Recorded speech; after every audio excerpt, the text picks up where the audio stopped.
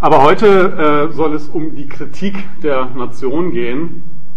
Ähm, und ich würde das gern versuchen, in, in, in, drei Teilen abzuhandeln, zu drei Sachen etwas zu sagen und auszuführen. Wir können in der Diskussion dann ja sehen, wo eurerseits da weitergehendes Interesse besteht.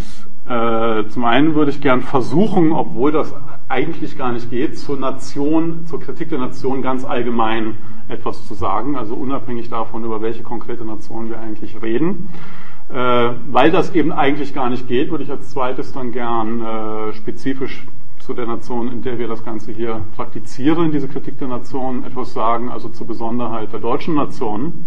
Und als drittes würde ich gerne relativ ausführlich etwas zu dem großen Sonderfall von Nation und Nationalismus äh, ausführen, nämlich äh, zur israelischen Nation, beziehungsweise zum jüdischen Nationalismus, also dem Zionismus.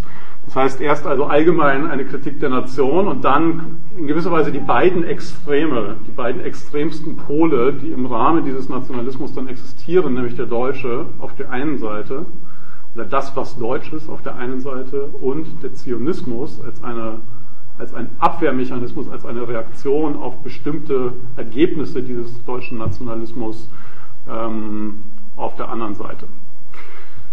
Das Ganze wird einigermaßen abstrakt und theoretisch angelegt sein, ähm, aber zum einen sind wir ja auf der Universität und zum zweiten schaut das eh so aus, als wenn ich, da, sich da das interessierte Fachpublikum sozusagen versammelt hat. Also wahrscheinlich haben hat der eine oder die andere sich zumindest schon mal ein paar Gedanken darüber gemacht, was es mit Kritik der Nation so auf sich hat. Aber ansonsten hoffe ich für andere, für die das vielleicht erstmal ein wenig überfordernd klingt, äh, diese etwas abstrakteren, theoretischeren Ausführungen, dass wir in der Diskussion dann einfach versuchen können, gemeinsam das an, an, an Beispielen ähm, deutlicher zu machen, worauf ich damit eigentlich hinaus wollte, falls es nicht eh schon klar wird in dem Vortrag.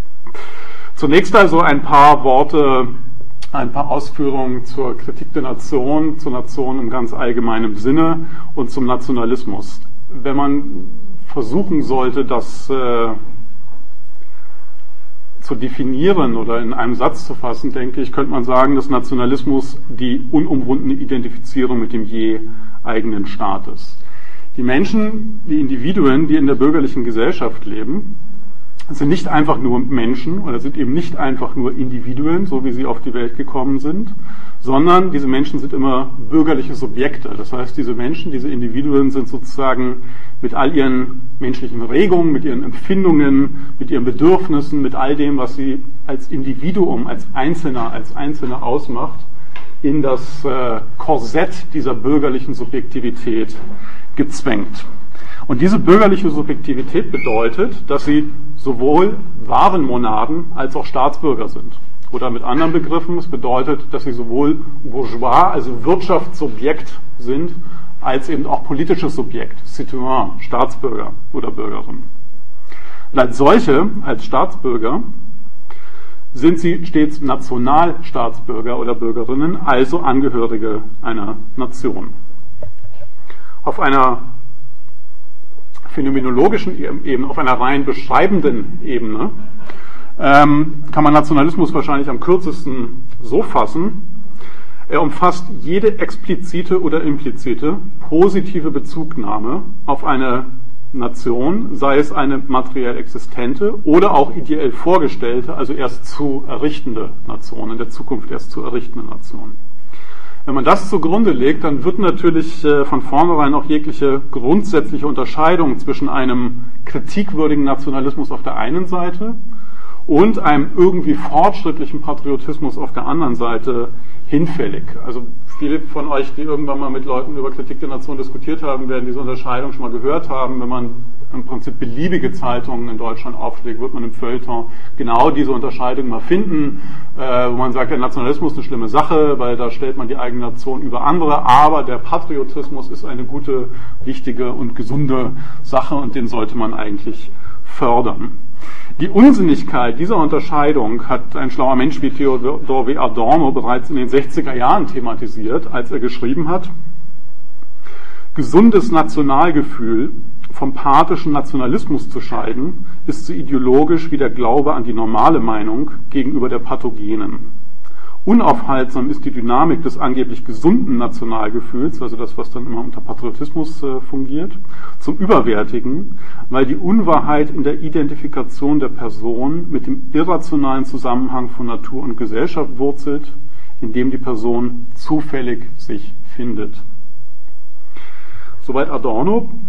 Der Unterschied zwischen dem Nationalismus ausgewiesener Nazis und jenem von ausgewiesenen Demokraten ist also ein, zumindest auf einer theoretischen Ebene, wenn man so eine theoretische Kritik formuliert, ist zunächst einmal ein gradueller und kein prinzipieller Unterschied.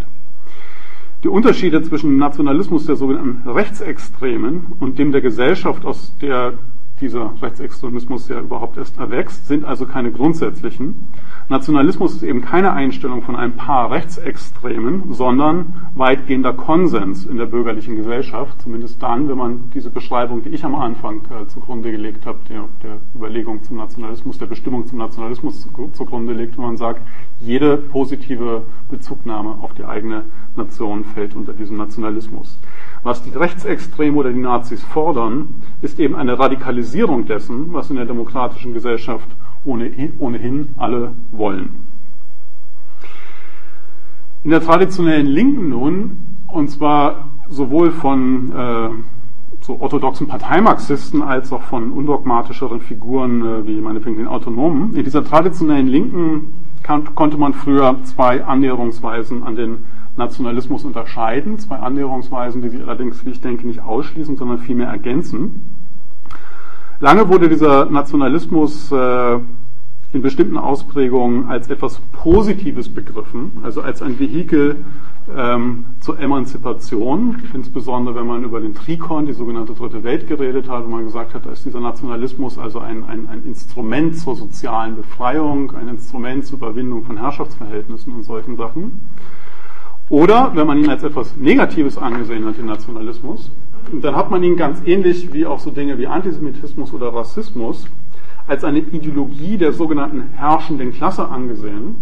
Eine Ideologie, die als ein, als ein Instrument, als ein Herrschaftsinstrument bewusst eingesetzt wird. Also womit die Herrschenden dann eben, um ihre eigene Herrschaft abzusichern, ganz bewusst äh, diese Ideologie in die Welt setzen würden, um die sogenannten Beherrschten zu spalten und von ihrer eigentlichen welthistorischen Mission, also Weltrevolution und solchen Dingen abzuhalten. Nationalismus als eine objektiv notwendige Basisideologie von einem, einem, kapitalistischen und staatlich organisierten System zu begreifen, das bleibt solchen Betrachtungsweisen natürlich völlig fremd und unverständlich.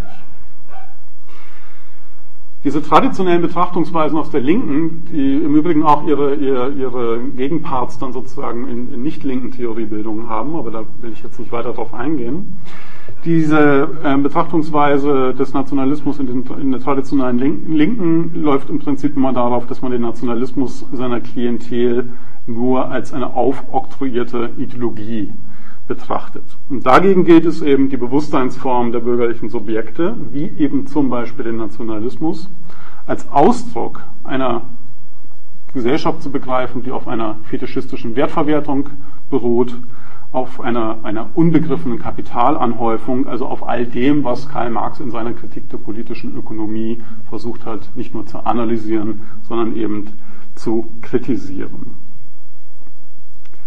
Es geht also darum, Nationalismus nicht, wie es das bürgerlich-demokratische Bewusstsein praktiziert, als Wahn einiger Nazis sozusagen zu exterritorialisieren, also auf eine ganz bestimmte, relativ kleine oder in Magdeburg vielleicht noch größere äh, gesellschaftliche Gruppe auszugrenzen und einzugrenzen. Und es geht auch nicht darum, äh, wie das linksdemokratische oder auch linksradikale Bewusstsein es betreibt, Nationalismus nur als Verschleierungstaktik der Herrschenden zu verharmlosen, sondern ich denke, es geht darum, ihn als eine Art objektiven Wahn der wertverwertenden Gesellschaft zu kritisieren. Wenn ich hier dagegen argumentiere, dass äh, der Nationalismus nur ein Herrschaftsinstrument sei, so heißt das allerdings nicht, dass in ihm nicht Momente einer Verschleierung vorhanden wären. Diese sind aber eben nicht oder nicht ausschließlich als bewusst eingesetzte Manipulationsinstrumente zu charakterisieren.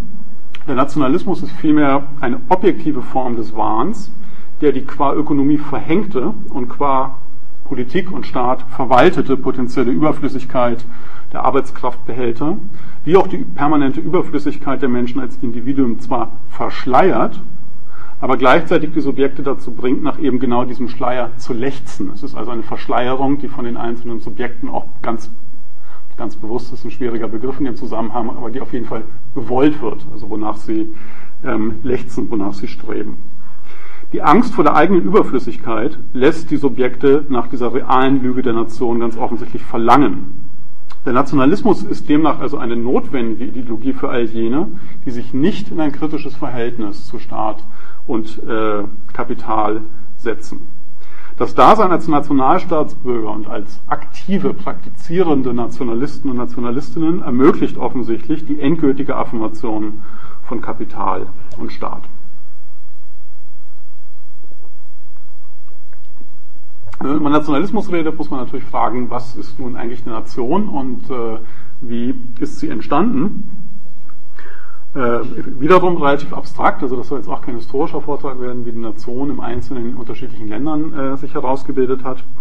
Die Nation entsteht zum einen aus der widersprüchlichen Liaison, die Staat und Kapital miteinander eingehen, und zum anderen, was aber nichts anderes ist, sondern eben zu dieser Liaison von Kapital und Staat in jeweils in den Nationalstaaten dann unterschiedlichen Ausprägungen immer dazugehört. Zum anderen aus der zugleich zwanghaften wie auch freiwilligen Integration des Faktors Arbeit in den Staat und damit in die Nation. In Deutschland im Prinzip Ende 19. Jahrhundert, 1870, 71 Reichsgründung und dann die Geschichte der Integration und Selbstintegration der deutschen Arbeiterbewegung in den Staat und in die Nation, um es an dem Punkt doch etwas konkreter zu machen.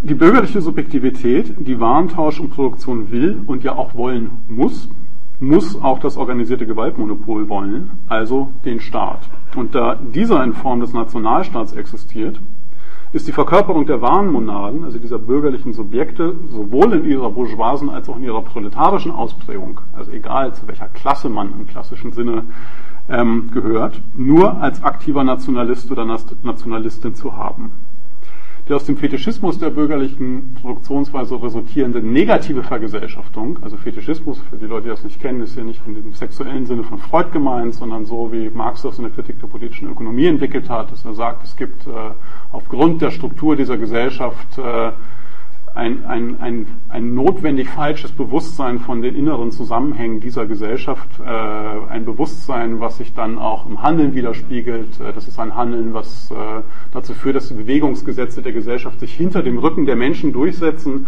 obwohl die Leute selber handeln. Das nur so als ein paar Schlagworte zu diesem Begriff des Fetischismus.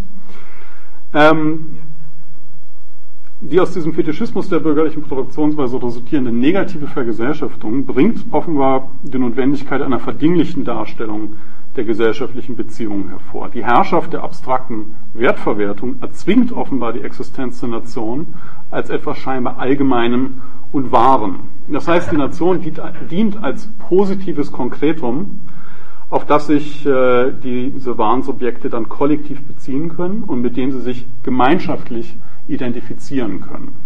Es gibt ansonsten auch nicht viel, weil in diesem Wirtschaftsleben zum Beispiel, es das heißt zwar in der Ideologie der Alltagssprache immer, man spricht von Tauschpartnern und so etwas, aber in der Ökonomie steht man sich in erster Linie als Gegner gegenüber, völlig egal, ob man das möchte oder nicht.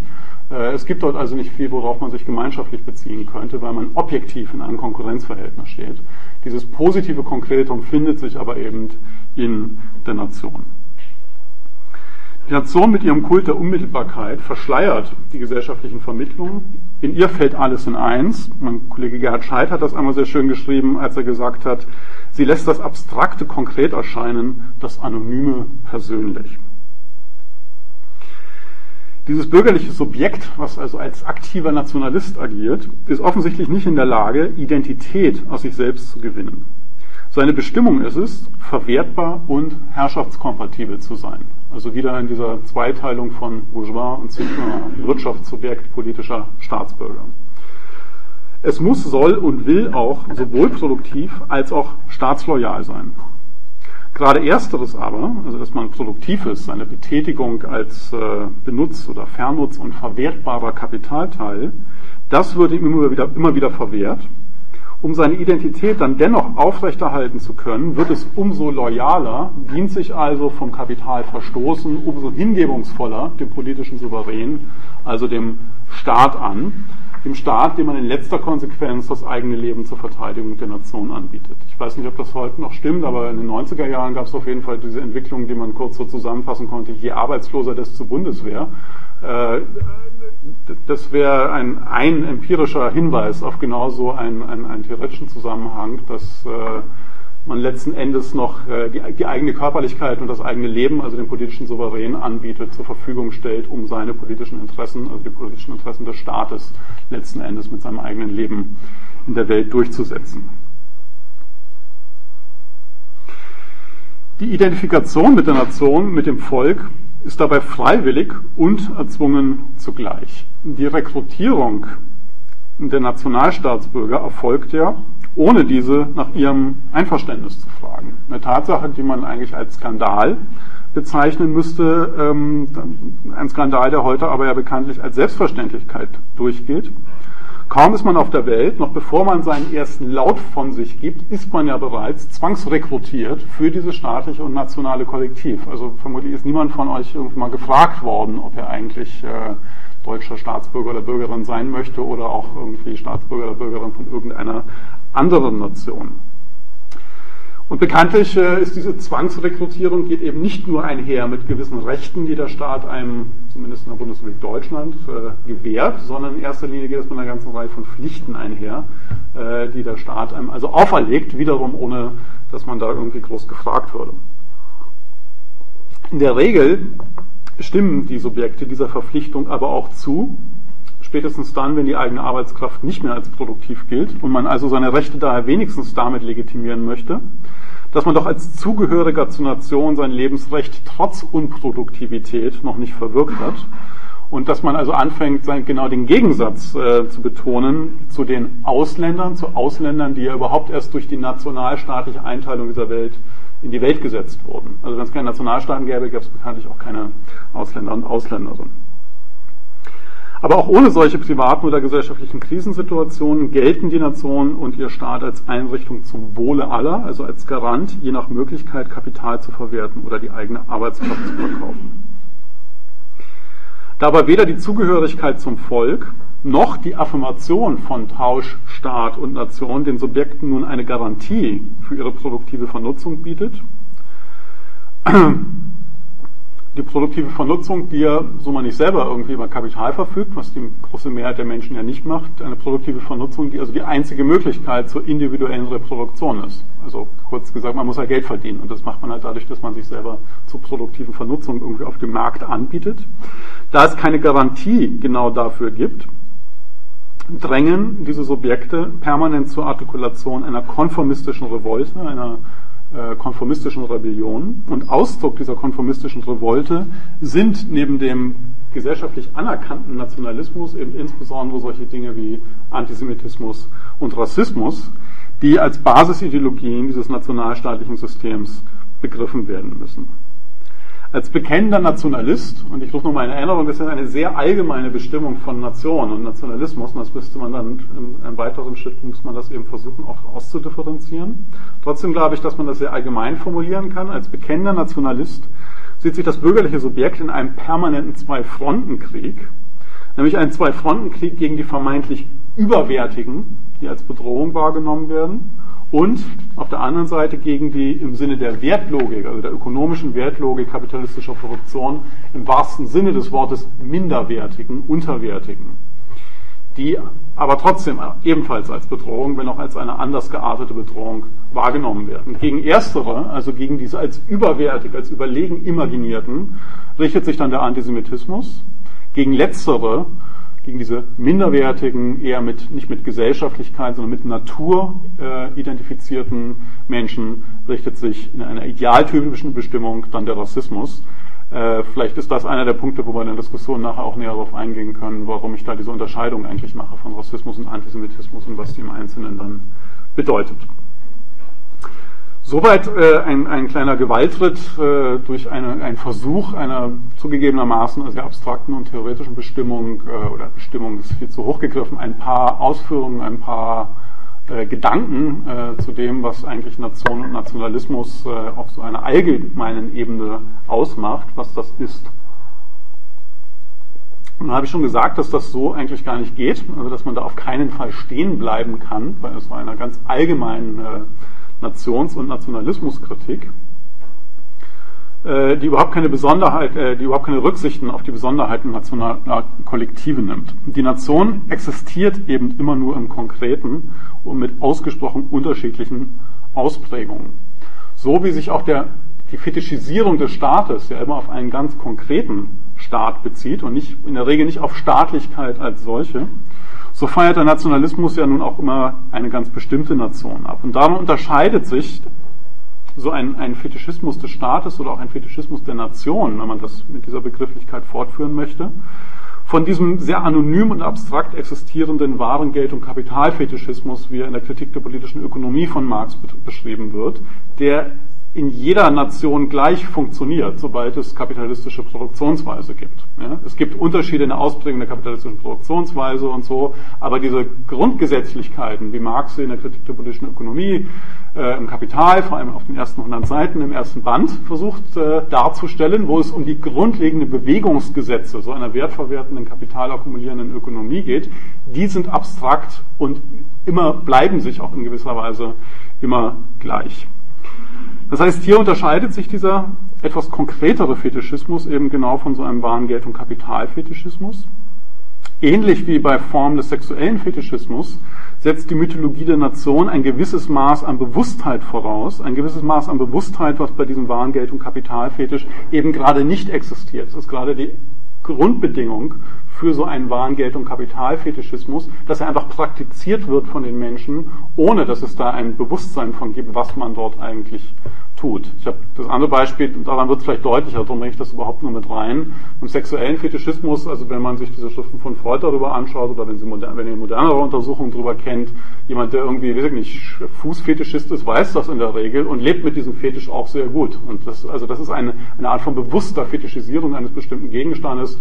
Man sagt, ja, das bringt halt sexuelle Stimulanz, ich, warum auch immer stehe ich darauf und dann ist das okay. Das ist eine Art bewusster Fetischismus und dieser Warengeld- und Kapitalfetischismus eine seiner zentralen Bestimmungen ist eben gerade, dass das etwas Unbewusstes ist.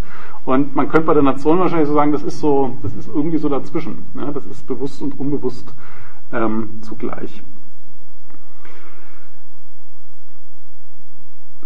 Unter anderem deswegen ist es eben so wichtig, zu unterscheiden zwischen den unterschiedlichen Ausprägungen, die es von Nationen dann gibt und also auch zu unterscheiden zwischen den unterschiedlichen Formen von Nationalismus, weil die sich eben auf ganz unterschiedliche, überhaupt sogar Konzeptionen von Nationen beziehen. Der Unterschied zwischen sogenannten Staatsbürgernationen und Volkstumsnationen oder zwischen so Abstammungsgemeinschaften und welche die das Territorialprinzip für sich in Anspruch nehmen, ist ja ganz augenscheinlich. Dennoch, denke ich, kann diese Differenzierung zwischen einem Jus Soli und Jus Sanguinus, also einem Bodenrecht, einem Territorialprinzip, Jus Soli, oder diesem Blutsrecht, dem Abstimmungsrecht, dem Jus Sanguinus, also diese Unterscheidung zwischen Staatsbürgernationen und den Anhängern atavistischer moderner Abstammungsgemeinschaften. Dennoch kann diese Potenzierung keine, äh, dennoch kann diese Unterscheidung keine Depotenzierung der allgemeinen Kritik der Nation bedeuten. Also doch nochmal zurück zu einer allgemeineren Kritik sowohl Nationen, die sich auf ein Geburtsrecht berufen, also wie weitgehend Deutschland, ganz eindeutig Österreich, viele osteuropäische Nationen, als auch, äh, als auch solche, die sich diesem, äh, nein, umgekehrt, äh, die haben sich genau nicht diesem Geburtsrecht verschrieben, sondern dem Blutsrecht. Also in, in, in Deutschland gibt es nach wie vor ein Staatsbürgerrecht, auch wenn das unter Rot-Grün leicht modifiziert wurde, wo es im Prinzip darum geht, dass man deutsche Vorfahren hat. Also dass man deutsches Blut in seinen Adern hat. Deswegen äh, war es früher, wie es diese leichten Modifizierungen noch nicht gegeben hat, äh, war es noch viel eindeutiger. Also wenn jemand irgendwie nachweisen konnte, dass er vor fünf Generationen in Russland äh, eine deutsche Großmutter hatte, dann war er Deutscher äh, und irgendwelchen Türkenkids, die in der dritten Generation hier leben aber, und hier geboren sind, aber eben keine deutschen Vorfahren haben, sind erstmal qua Geburt keine Deutschen. In Österreich ist das bis heute in genau dieser krassen Form so. Und auf der anderen Seite gibt es eben Nationen wie zum Beispiel die USA, die also eine andere Form von äh, Staatsbürgerschaftsrecht haben, auch wenn das auch ständig diskutiert wird, ob das so bleiben soll und so. Aber vom Prinzip her, vom Grundgedanken her, ähm, in den USA, wenn ich es richtig im Kopf habe, sogar bis heute ohne Einschränkungen in der Praxis. Auch wenn man auf dem Territorium der USA geboren wird, hat man die Möglichkeit, die amerikanische Staatsbürgerschaft anzunehmen. Ja? Andere Beispiele für klassische Beispiele für dieses äh, Territorialprinzip wäre Frankreich, wobei das aber da auch schon ein bisschen aufgeweicht wurde. Aber egal, ob man sich diesen Geburts, auf dieses Geburtsrecht beruft oder eben dem Blutsrecht verschrieben hat, alle diese Nationen, alle diese nationalen Gemeinschaften sehen sich erstmal ja vor das gleiche Problem gestellt. Es muss immer beantwortet werden, wer, wann und warum zur Nation gehört. Und wer nicht, natürlich auch. Das heißt, die Frage ist die gleiche, aber die Antwort ist dann eben eine andere. Nur die Kritik muss eben bereits an dieser Fragestellung ansetzen, weil bereits in ihr, unabhängig von der jeweiligen Beantwortung, die Negation des Menschen als freies und selbstbestimmtes Individuum angelegt ist. Das heißt, die Konstruktion eines prinzipiellen Gegensatzes zwischen völkischen und republikanischem Nationalismus verbietet sich allein schon deswegen, da beide auf dem Prinzip der Exklusivität beruhen und natürlich beruhen müssen. So groß und so wichtig die konkreten Unterschiede dann auch zwischen diesen beiden äh, Nationskonzepten und den realen Nationen, die sich auf so etwas beziehen, sein mögen, und so sehr diese Unterschiede, um es noch deutlicher zu machen, für einzelne Menschen wie auch für zu Volksgruppen sich selbst kollektivierenden oder zwangskollektivierten Menschen eine wirklich existenzielle Bedeutung haben, also es geht da oft um eine Frage von Leben und Tod in der Praxis, so sehr das so ist, verbietet es sich trotzdem auf der theoretischen Ebene so einen prinzipiellen Unterschied ähm, zu behaupten. Es geht also darum, dass man in der Kritik beide Modelle als zwei verschiedene Ausprägungen desselben und durchaus falschen Prinzips nationaler Vergesellschaftung kenntlich macht. Nun aber wirklich äh, zur Spezifik Deutschlands. Auch das relativ abstrakt und äh, theoretisch. Die praktische und historische Besonderheit Deutschlands ist, glaube ich, eh weit, weitgehend bekannt. Ähm, die spezifische Kritik Deutschlands, welche eben die von Deutschen begangenen Untaten nicht in einem allgemein gehaltenen Antinationalismus verschwinden lässt. Diese spezifische Kritik reflektiert die spezifisch deutsche Antwort auf die soziale Frage, also den Nationalsozialismus. Allgemein kann man das vielleicht so fassen, auch wenn die Aufhebung des Widerspruchs von Kapital und Arbeit in der Volksgemeinschaft also wie es im Nationalsozialismus eben nicht nur propagiert, sondern wirklich praktiziert wurde, als real existierende Ideologie, als, also auch als Praxis. Auch wenn diese Aufhebung des Widerspruchs von Kapital und Arbeit in der Volksgemeinschaft und auch wenn die Verlängerung eines antikapitalistischen Ressentiments zum Massenmord, also zum Massenmord an Juden, an einem zugleich abstrakten, wie auch biologisch konkretisierten inneren und äußeren Feind, auch wenn das allen bürgerlich-kapitalistischen Gesellschaften als Möglichkeit innewohnt, und das tut es, in Deutschland ist genau das eben Realität geworden. Nationalismus bedeutet immer die ideologische Affirmation von Kapitalproduktivität und Staatsloyalität in diesem quasi nationalen Produktionsraum des Kapitals. Der deutsche Nationalismus hingegen, wie er sich im Nationalsozialismus dargestellt hat, impliziert zudem Vernichtung von Menschen um der Vernichtung willen. Also die in Auschwitz und anderswo praktizierte Übersetzung einer irrationalen, nahezu pathologischen Rationalität, nämlich die Rationalität kapitalistischer Warenproduktion und staatlicher Herrschaft, in einen ebenso industriell wie auch handwerklich betriebenen Massenmord. Und dieser Massenmord wäre dann vor so einem ideologiekritischen Hintergrund zu verstehen als Ausdruck des natürlich nicht verwirklichbaren Wunsches, die abstrakte Seite des Kapitalverhältnisses oder überhaupt alles, was als abstrakt, bedrohlich, künstlich, volkszersetzend, zerstörerisch und so weiter und so fort wahrgenommen wird, in Juden und Jüdinnen zu biologisieren und in ihnen quasi auszurotten, also die abstrakte Seite des Kapitalverhältnisses abzuschaffen, um das Kapitalverhältnis als solches zu retten. Das ist natürlich ein völlig wahnhaftes Unterfangen. Wir reden hier von wahnhaften Projektionen, die solch eine Ideologie, die solch einen Nationalismus prägen. Aber das wissen wir eben heute und das hat durchaus eine zentrale Bedeutung auch für Diskussionen über heutige Bedrohungspotenziale und Szenarien, dass so eine Ideologie völlig wahnhaft ist, dass das real natürlich gar nicht geht, ja, das äh, Konkrete im Kapitalismus vom Abstrakten zu befreien, ist kein Argument dagegen, dass es Menschen, Staaten und Nationen oder heute könnte man fortführen Rackets oder Racketartige Staaten nicht versuchen trotzdem in die Tat umzusetzen. Also ausgehend wirklich von so einer wahnhaften Ideologie, äh, von solch einer Form von Nationalismus, die ganz offen eben auf so einen Vernichtungsantisemitismus dann auch setzt, davon ausgehend wirklich sowas wie Realpolitik zu betreiben, also tatsächlich zu versuchen, das geschichtlich wirksam werden zu lassen, Wirklichkeit werden zu lassen.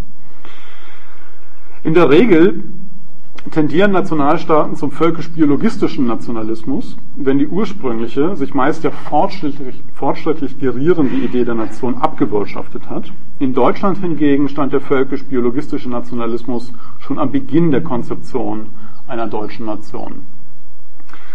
Sind Nation und Kommunismus ohnehin schon ein Widerspruch, so lässt sich das genaue Gegenteil von Freiheit, also der größtmögliche Gegensatz zu einer freien Assoziation freier Individuen, wahrscheinlich kaum besser ausdrücken als genau in diesem Begriff Deutschland. Das, was hier mit Deutschland gemeint ist, oder das, was hier als Deutsch begriffen wird, wird hier natürlich in dem Sinne einer Ideologiekritik verstanden. Es handelt sich also dabei nicht, wie einem ganz gern ja in einem böswilligen Unverstand unterstellt wird, oder insbesondere, wie versucht wurde, so eine Kritik am Beginn der 90er Jahre überhaupt mal äh, in der Linken irgendwie diskutabel zu machen, vor allem unterstellt wurde. Es handelt sich dabei natürlich nicht um sowas wie einen erblichen Nationalcharakter, sondern, wenn hier davon die Rede ist von Deutschland, von dem, was deutsch ist, dann geht es um eine Art politökonomische Konstellation, eine Konstellation, in der eben auf Vernichtung gesetzt wird, in letzter Konsequenz, während üblicherweise in westlichen, in Kapital akkumulierenden Gesellschaften bestimmte Zwecke mit bestimmten Mitteln verfolgt werden, also wo Interessen verfolgt werden. Es geht bei dem Begriff des deutschen Besonderen in Abgrenzung zum nationalen Allgemeinen auch nicht in erster Linie um eine bestimmte Mentalität, sondern um eine spezifische Form kapitalistischer Vergesellschaftung, die dann allerdings auch bestimmte eben äh, ähm, typisch deutsche Sozialcharaktere hervorbringt, die also aus sich heraus dann schon so etwas provoziert wie eine bestimmbare Mentalität, über die man dann reden kann. Aber die selber ist natürlich nicht der Grund. Ja. In Deutschland existierte eine besondere Form des Verhältnisses von Staat, Bürgertum und Gesellschaft, die letztlich zur Shoah geführt hat, die letztlich zum Nationalsozialismus geführt hat. Und diese Konstellation, in der aus der Not historischer Verspätung eine Tugend gemacht wurde, also beginnend am Ende des 19. Jahrhunderts, und, das ist ein längeres Zitat von Clemens Nachtmann, der das einmal sehr schön auf den Punkt gebracht hat, in der das säumige, in der der das säumige Bürgertum substituierende Staat sich zugleich an die Spitze einer antibürgerlichen, antisemitischen Volksbewegung setzt und schließlich mit der Gesellschaft zu einem in massenmörderischer Aktion gegen die Juden sich definierenden gesellschaftlichen Massenracket verschmilzt. Diese Konstellation kann deshalb als deutsch bezeichnet werden, weil sie sich in Deutschland erstmals etabliert hat und ihre bestialischen Potenziale voll entfalten konnte aber sie ist kein historisch oder territorial eingrenzbares Phänomen. Soweit Clemens Nachmann. Und das heißt, sie ist weder auf den Staat Deutschland noch auf die Zeit des Nationalsozialismus beschränkt, sondern resultiert eben aus einer spezifischen Ausprägung dieser wertverwertenden Vergesellschaftung. Und daher ist das, was Deutsch ist, das, was unter diesem Begriff Deutschland überhaupt versucht wird, ideologiekritisch zu fassen, auch verallgemeinerbar. Ich habe schon erwähnt, dass äh, Staat und Nation eben nur als je konkrete zu fassen sind. Nachdem dieses spezifisch deutsche Krisenlösungsmodell, also mit Vernichtung und Weltkrieg im Nationalsozialismus Wirklichkeit wurde, nachdem also Deutschland die negative Dialektik von Staat, Nation und Kapital bis zur äußersten Konsequenz, eben zum Massenmord, getrieben hat, danach lassen sich die je unterschiedlichen Staaten und Nationen stets auf die deutsche Nation beziehen Deutschland gerät so, wie Gerhard Scheidt das einmal sehr schön gesagt hat, in Analogie zum Geld im Verhältnis zu den Waren zu einer Art allgemeinem Äquivalent der Nationen. Das heißt, dass man, dass die Nationen sich zu Deutschland in ein gewisses Verhältnis setzen, beziehungsweise dass auch die Kritik der Nation genau das leisten muss. Ähm, andere Nationskonzepte immer im Verhältnis genau zu dieser Konzeption dessen, was Deutsch ist, zu begreifen, zu denken und zu kritisieren. Was daraus nun in Zukunft resultiert, lässt sich äh, kaum prognostizieren. Aus dieser Überlegung also, dass äh, dieses Prinzip des Deutschen in einem ideologiekritischen Sinne verallgemeinerbar ist. In den letzten Jahren gibt es allerdings äh, leider jede Menge Anzeigen, äh, Anzeichen dafür, dass es eine Art Verallgemeinerung dieses deutschen Krisenlösungsmodells gibt, dass also Elemente dieser deutschen Ideologie, Sie sehen es auch in anderen Gesellschaften, in westlichen Gesellschaften adaptiert werden und dass aber insbesondere in den sogenannten äh, Dritte Weltländern äh, eine Entwicklung, die man die weitsichtige Leute wie Dorn und Horkheimer schon in den 50er und 60er Jahren beobachtet haben, heute vor allem im arabischen und islamischen Raum äh, zusehend äh, Schule macht, nämlich dass genau da ganz bewusst und explizit an diese deutschen Formen von Krisenlösung ähm, angedockt wird, was letzten Endes, was so ziemlich die katastrophischste Vorstellung wäre, darauf hinauslaufen könnte, dass dieser Sonderweg Deutschland, von dem man früher gesprochen hat, darin endet, dass er zusehends zum Mainstream wird. Das war sozusagen der zweite Gewaltschritt äh, zu einer Kritik Deutschlands.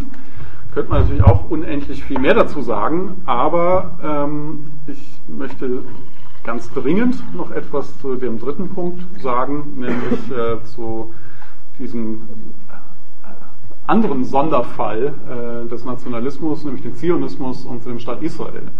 Denn die Frage kommt ja, käme ja sowieso, auch wenn ich an dem Punkt einfach aufhören würde, wie ist das denn, dass man irgendwie so eine konsequente und radikale Kritik der Nation formulieren kann und sich gleichzeitig hinstellen kann und was ich dezidiert tue, eine äh, unmissverständliche Solidarität mit einer Nation postuliert, nämlich mit der israelischen, äh, was selbstverständlich, äh, um es deutlich zu machen, selbst auch die Solidarität mit der bewaffneten Selbstverteidigung ähm, dieser Nation impliziert.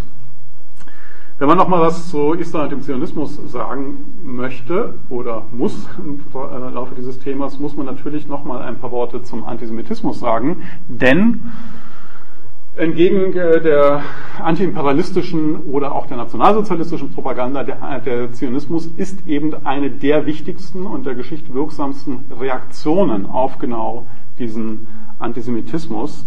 Wenn ich von Antisemitismus rede, dann rede ich immer von einem Antisemitismus wiederum in einem ideologiekritischen Sinne oder vom Antisemitismusbegriff.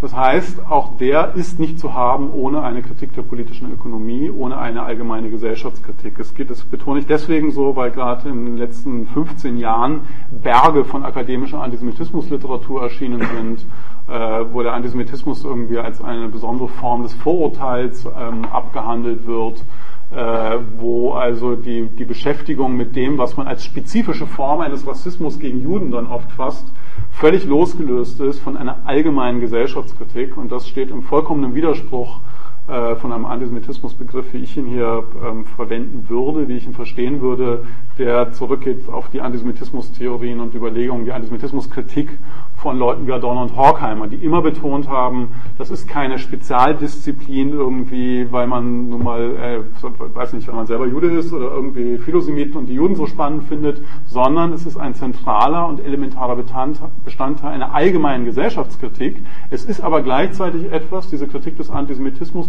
die ohne so eine allgemeine Gesellschaftskritik eigentlich überhaupt nicht zu verstehen ist, wenn man, wenn man sich nicht darauf beschränken will, einfach empirisch zu beschreiben, was Antisemiten so von sich geben und ansonsten, was natürlich eine sinnvolle Sache ist, praktisch Antisemiten daran zu hindern, dass sie das in die Tat umsetzen, was sie tun.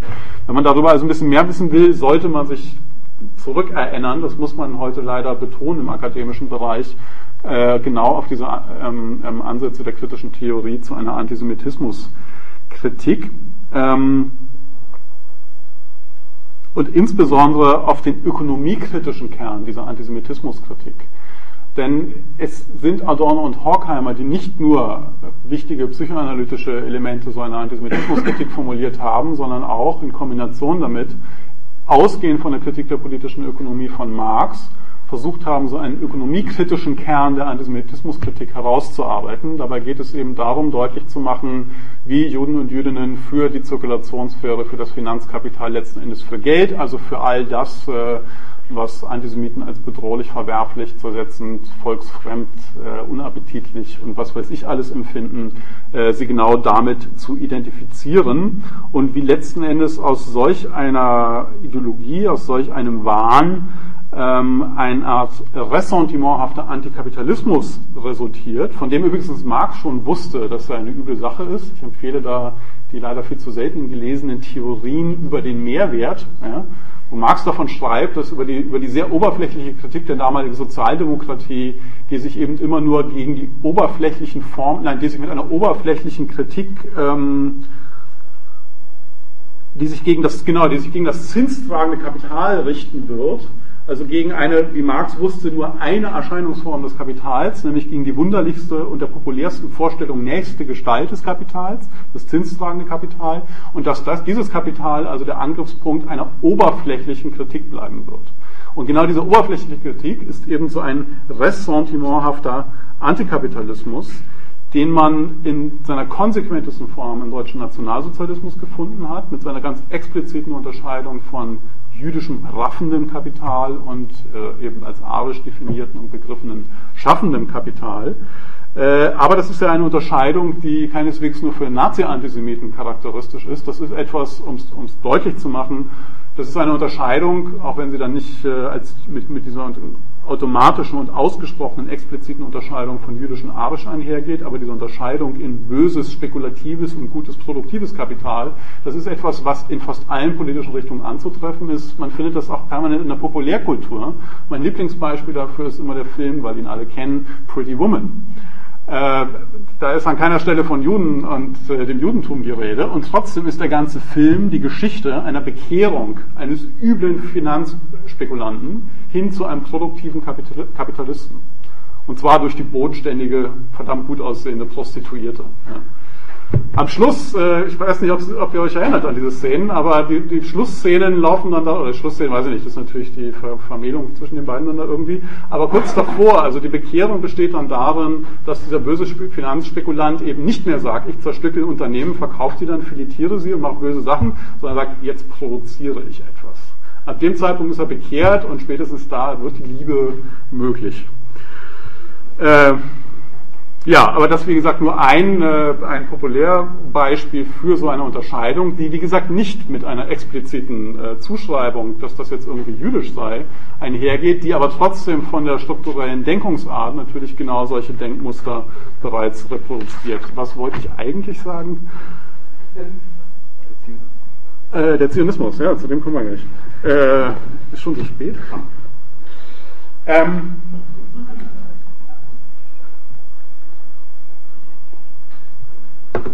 Ja, es gibt also, äh, es, schon Marx wusste, dass es also merkwürdige Formen eines ressentimenthaften Antikapitalismus gibt. In seiner zuspitzen Form ist dieser ressentimenthafte Antikapitalismus also bei den Nazis oder bei anderen Antisemiten anzutreffen. Letzten Endes ist das eben ein ressentimenthafter Antikapitalismus, der in so einer konformistischen Revolte ähm, sich vor allem artikuliert. ich habe vorhin schon gesagt, eine der wichtigsten Ausdrucksformen dieser konformistischen Revolte sind Dinge wie Nationalismus, ähm, Rassismus und insbesondere eben der Antisemitismus. Und gegen solch eine konformistische Revolte richtet sich dann eben auch die Parteilichkeit einer Kritik der Nation für eine ganz bestimmte Nation, nämlich für die israelische. Diese Parteilichkeit ist meiner Meinung nach nichts, was sich zu dieser Kritik irgendwie zufällig hinzugesellt. Also das geht irgendwie nicht, dass man sagt, ja, man macht hier Kritik der Nation, aber wir machen eine Ausnahme, weil Israel ist irgendwie so cool, sondern oder der Strand in Tel Aviv ist so toll oder irgendwie sowas, sondern es ist eine zwingende Konsequenz aus genau dieser Kritik der Nation.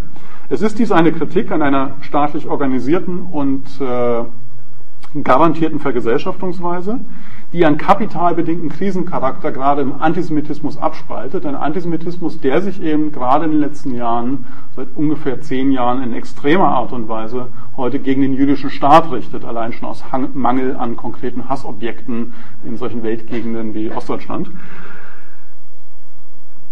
Man kann diesen Zusammenhang zwischen einer radikalen Gesellschaftskritik und einer Solidarität, einer notwendigen Solidarität mit Israel eigentlich in drei Sätzen sagen die den Verwertungsimperativen des Kapitals und den Herrschaftsimperativen des Staates gehorchende Gesellschaft bringt den Antisemitismus immer wieder hervor. Sie bringt den Antisemitismus immer wieder als eine Art wahnhaften Versuch der Konkretisierung des Abstrakten hervor. Der israelische Staat und der Zionismus, also der jüdische Nationalismus, sind die Reaktion auf diesen Antisemitismus. Die Parteilichkeit mit diesem Staat, mit diesem Nationalismus wäre also schon daher für jede Kritik des kapitalbedingten Verhängnisses zwingend. Und weil es so einfach ist, wundert man sich, warum man darüber eigentlich heute doch immer noch diskutieren muss. Solange der Schritt zur allgemeinen Emanzipation versperrt ist, muss sich also Kritik im Falle Israels im Bewusstsein über die Besonderheiten dieses Gemeinwesens durchaus relativieren und etwas praktizieren, was in so Gesellschaften wie Österreich und Deutschland ähm, vor dem Hintergrund des Interesses an allgemeiner Emanzipation gar nicht möglich wäre und auf jeden Fall abzulehnen wäre, nämlich Staatskritik zum Wohle des Staates. Anders als in Ländern wie Österreich oder Deutschland können also in Israel Missstände kritisiert werden, um die Zustände zu verbessern. Kritik müsste sich also angesichts dieser Besonderheiten der israelischen Nation darauf einlassen, diese Missstände in einer Art und Weise zu kritisieren, die letztlich nicht zur Behebung dieses Missstandes durch die Aufhebung seiner letzten Endes auch in Israel natürlich staatlichen Ursache führen möchte, sondern sich letztlich der zugegebenermaßen aussichtslosen Bemühungen verpflichtet fühlt, den Missstand zum Wohle des Staates und der Nation, die ihn erst hervorgebracht haben, zu beheben. Unabhängig von diesen Missständen, wie ich es hier genannt habe, bleibt aber die Verteidigung gegenüber dem Antisemitismus der vorrangige Zweck der israelischen Nation. Der im bürgerlichen Sinne durchaus revolutionäre Charakter dieses Nationalismus, also des Zionismus, liegt eben gerade darin begründet, dass der Zionismus als Hauptfunktion hat, Juden und Jüdinnen vor antisemitischer Verfolgung zu schützen. Vor diesem Hintergrund ist dann die israelische Nation und damit also auch zwangsläufig der israelische Nationalismus von völlig anderem Charakter als jede andere Nation oder jeder andere Nationalismus. Ich habe vorhin äh, relativ theoretisch versucht, äh, das so zu fassen, dass ich gesagt habe, aus dem, aus dem Fetischismus der bürgerlichen Produktionsweise resultierende negative Vergesellschaftung bringt die Notwendigkeit einer verdinglichten Darstellung der gesellschaftlichen Beziehungen in der Nation hervor und habe versucht auszuführen, wie diese bürgerlichen Subjekte zu dieser konformistischen Revolte drängen, die sich dann also eben in Nationalismus, Rassismus und Antisemitismus ausdrückt und so weiter und so fort. Der israelische Nationalismus nun ist die Verteidigung genau gegen diesen Mechanismus nationaler Vergesellschaftung. Der israelische Nationalismus ist also die Reaktion auf den nationalen Wahn, also die nach Lage der Dinge bis heute einzig mögliche Antwort auf die nationalistische Raserei, eine nationalistische Raserei, die eben gerade im Antisemitismus zu sich findet.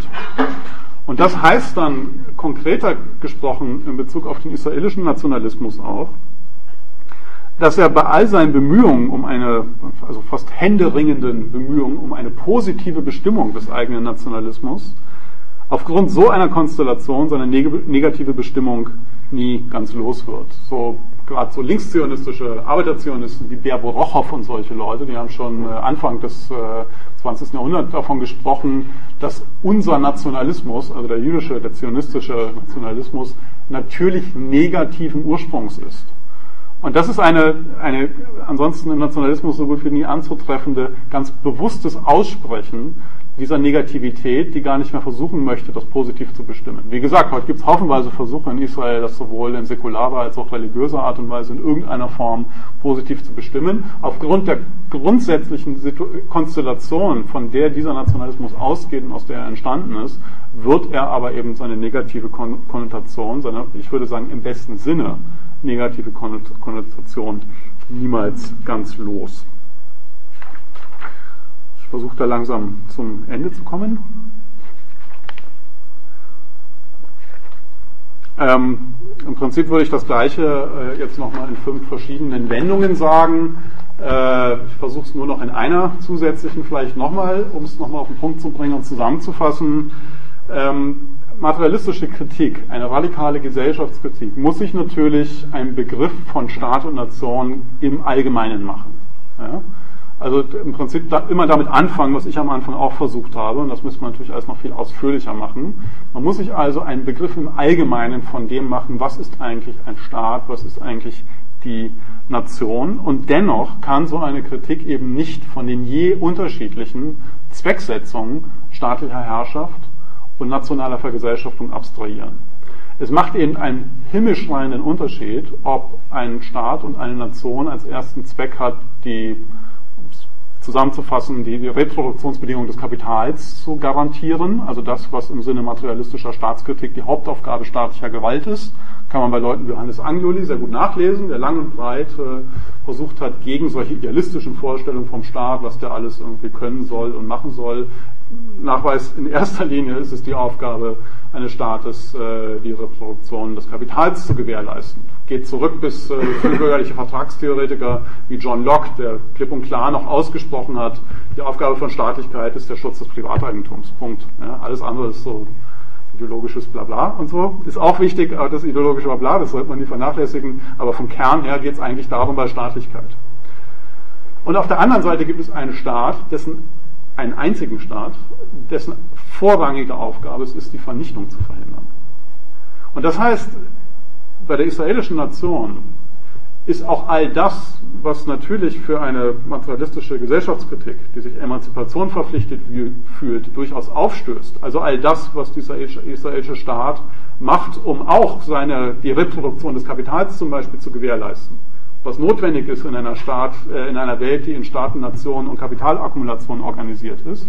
All das, was dieser Staat dort macht, was er auch an Repressionsmaßnahmen gegen seine eigenen Bürger vornimmt, was er an Repressionen und auch grauenerregenden Übergriffen äh, gegenüber auf seinem Territorium lebenden Nichtstaatsbürgern vornimmt, äh, was er in anderen Territorien dieser Welt so anrichtet, All das ist letzten Endes auf genau diese Funktion, nämlich die Verhinderung einer Vernichtung, rückgebunden. Und das ist eine staatliche Funktion und eine Zielsetzung einer Nation, die für materialistische Kritik außerhalb jeder Kritik steht und ganz im Gegenteil ein guter Grund für emphatische Parteilichkeit und also auch für Solidarität ist. Und damit ich das nicht nochmal in fünf verschiedenen anderen Wendungen sage, höre ich an der Stelle einfach mal auf und wir können ja vielleicht gerne dann gleich in die Diskussion eintreten. Vielen Dank.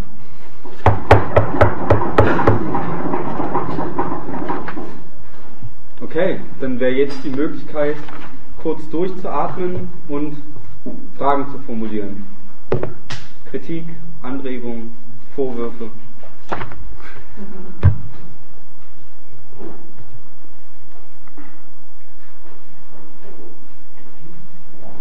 Bitte. Ähm, es gibt ja diese ideale oder idealistische Dass ähm, mit der fortschreitenden Zeit der Menschengeschichte und so weiter, also stetiger Fortschritt ähm, passiert und vielleicht auch ähm, mit einer weiter, weiteren Ausbildung der marktproduzierenden Gesellschaft es dann irgendwann vielleicht zu einer überstaatlichen, superstaatlichen Regelung kommt. Ähm, das ist ja auf jeden Fall irgendwie erstmal so eine Sichtweise. Und dann gibt es ja jetzt äh, die sogenannte Wirtschaftskrise, in der vor allem auch Linke wieder die Nation als Lösung anbieten, was ja dann irgendwie vielleicht doch gar nicht so dieser idealistischen ähm, Sichtweise ins Weltbild passt. Können Sie dazu was sagen? Also der Renaissance des Nationalstaats sozusagen. Mhm. Oder seiner in der Frage steckt eine ganze Menge drin. Da könnte man lang ausholen. Also zum einen äh, als erstes fällt mir, äh, das ist aber nur nebenbei, als erstes fällt mir so ein zum Fortschritt von Marcuse gibt es ein sehr schönes Wort. Also das, natürlich stimmt das. Also ich würde das äh, für die Zeit vor dem Nationalsozialismus definitiv unterstreichen. Die Menschheitsgeschichte ist eine Fortschrittsgeschichte. Ich halte überhaupt nichts davon, diesen Fortschrittsbegriff irgendwie völlig über Bord zu werfen. Ähm, die Herauslösung der Menschen aus den Naturverhältnissen, aus der ersten, die Emanzipation der Menschen gegenüber der ersten Natur, also der Bedrohung, die eine Natur für menschliches Überleben mit sich bringt, ist eine Fortschrittsgeschichte. Und es ist eine Fortschrittsgeschichte, auch wenn die durch unglaubliche Blutbäder hindurchgegangen ist. Ja, das ist eben dann einer der Aspekte der Dialektik genau dieses Fortschritts. Ähm, ist einhergegangen mit unglaublichen politischen Fortschritten. Ne? Äh, es gibt eben sowas wie die Französische Revolution, wo dann aber, äh, deswegen ist mir das gerade eingefallen, Marcuse hat das mal gesagt, ja, dann erfinden sie halt die Guillotine. So schaut der Fortschritt in der bürgerlichen Gesellschaft halt aus. Ne? Also man erfindet neue Sachen, äh, wie man Leute am besten umbringt. Aber das ist natürlich nicht alles, sondern äh, mit, der, mit, mit der bürgerlichen Gesellschaft und das heißt auch mit der Nation wird ein extremer Fortschritt in der Menschheitsgeschichte beschritten. Man löst sich also ja dann nicht nur mehr wie, wie ganz früher irgendwie aus dem unmittelbaren Zwang der Naturverhältnisse, sondern man begibt sich auf diesen sehr widersprüchlichen und sehr wackeligen und sehr schwierigen Weg von Freiheit, Gleichheit und Brüderlichkeit, aber in einer gesellschaftlichen Verkehrsform, die dazu führt, dass diese Ideen in sich selber gleichzeitig ihre Negation beinhalten was Leute wie Adorno und Horkheimer dazu geführt hat, dass sie gesagt haben, die Ideen von 1933 waren in den Ideen von 1789 schon angelegt. Also die Ideen des Nationalsozialismus waren in diesen Ideen der französischen Revolution bereits mit drin. Man darf nur nicht den Fehler machen, die dadurch einfach in eins zu setzen, wie es einige linke Theoretiker und Theoretikerinnen gerne machen, teilweise so, nur also um ein Beispiel zu geben, die Krisisgruppe hatte eine Zeit lang diesen Wahn, dass sie einfach Aufklärung per se für totalitär erklärt hat. Äh, und am stärksten ist das natürlich im heutigen akademischen Bereich, in diesen ganzen poststrukturalistischen französischen Unsinnstheorien äh, vorhanden, wo das ganz explizit genau so ausgesprochen wird, wo gesagt wird, ja, die Aufklärung ist totalitär äh, und wo genau dieser Unterschied nicht mehr gemacht wird. Ja? Nämlich der Unterschied zwischen einer tatsächlichen Aufklärung und einem tatsächlichen Fortschritt und dem Umschlagen dieser Aufklärung in die Barbarei. Die, der, der Gedanke der kritischen Theorie war ja eben gerade zu sagen, dass es die Gefährlichkeit gibt, dass die Ideen der Aufklärung in ihr Gegenteil umschlagen. Wenn sie in ihr Gegenteil umschlagen, dann sind sie aber nicht das gleiche wie die Ideen der Aufklärung selber. Und deswegen ist es auch heute ausgesprochen notwendig, ohne allzu große Emphase, aber eben doch genau an diesen Ideen der Aufklärung festzuhalten und zu sagen, ja, äh, sowas wie Freiheit und Gleichheit ist äh, erstmal eine sehr gute Idee im Wissen der Dialektik von diesen Dingen. Und das ist etwas, was auch für die gesamte Menschheit und nicht nur für die europäischen Weißen irgendwie was ist. Und das ist nichts, was nur für die Kultur in diesen Breiten irgendwie eine tolle Angelegenheit ist, sondern das sind universalistische Ideen. Und es ist nicht rassistisch, das als universalistisch zu postulieren, sondern es ist rassistisch zu glauben, dass es Menschen gibt, die aus irgendwelchen kulturellen Empfindungen heraus das nicht haben möchten, weil die meisten von diesen Menschen das übrigens auch anders sehen. Aber das war jetzt ein kleiner Exkurs. Ähm, es gab im Rahmen in den 90er Jahren vor allem in dieser sogenannten Globalisierungsdebatte genau diese Diskussion, die du ja auch ansprichst, äh, Verschwinden des Nationalstaates.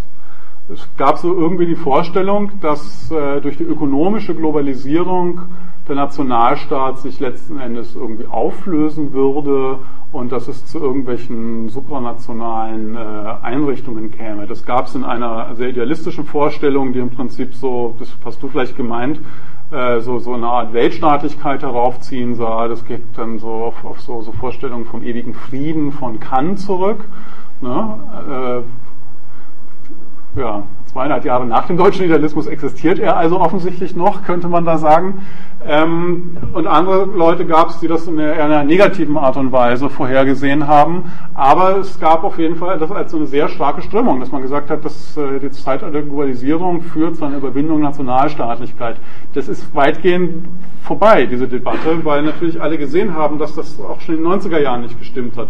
Natürlich war es so, dass äh, in den 90er Jahren der Nationalstaat in gewissen Bereichen ganz bewusst als politische Entscheidung, nicht weil er getrieben war durch die Ökonomie, sondern weil die jeweiligen Politiker und Politikerinnen das so entschieden haben, gewisse nationalstaatliche Regelungsmechanismen einfach aus der Hand gegeben haben im Bereich der Ökonomie. Aber auch das ist eine Form nationalstaatlicher Regulierung, wenn man bewusst entscheidet, okay, wir verzichten in gewissen Bereichen auf nationalstaatliche Regulierung. Gleichzeitig ging das aber einher mit einer Zunahme nationalstaatlicher Regulierung nämlich zum Beispiel im Migrationsbereich. Wenn man sich das Migrationsregime in den 90er Jahren anschaut, das ist ein, also dazu ist im Vergleich, sind die 80er Jahre ein Witz. Da kann man sagen, in den 80er Jahren gab es noch gar kein wirkliches Migrationsregime, gab es natürlich.